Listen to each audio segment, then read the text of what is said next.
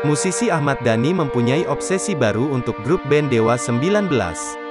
Obsesi ini adalah dengan merambah dunia kuliner dan gastronomi, di mana Ahmad Dhani akan membuat restoran bernama Dewa 19 Restografi.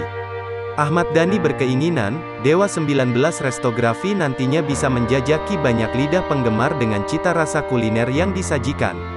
Kamu sedang ada di kanal YouTube Jahit Brenan, kita akan bahas obsesi Ahmad Dhani untuk Dewa 19, setelah kamu klik tombol subscribe dan like videonya. Sudah. Yuk kita mulai.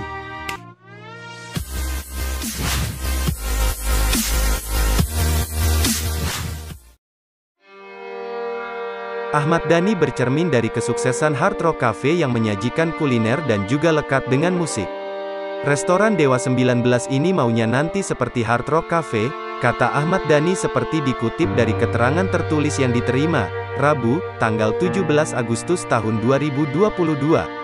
Penandatanganan kerjasama sendiri telah dilakukan Ahmad Dhani selaku pentolan Dewa 19 bersama beberapa perusahaan yang bergerak di bidang restoran, kuliner dan sebagainya.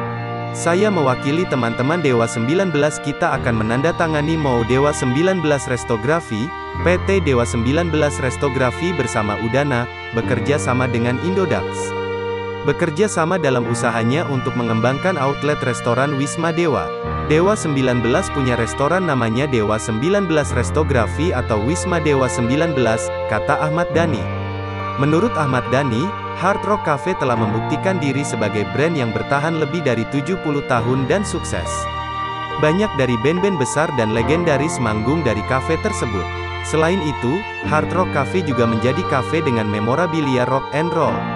Restoran Dewa 19 yang saya konsep itu maunya nanti seperti Hard Rock Cafe. Hard Rock Cafe terbukti brand yang sudah 70 tahun sukses, tutur Ahmad Dhani.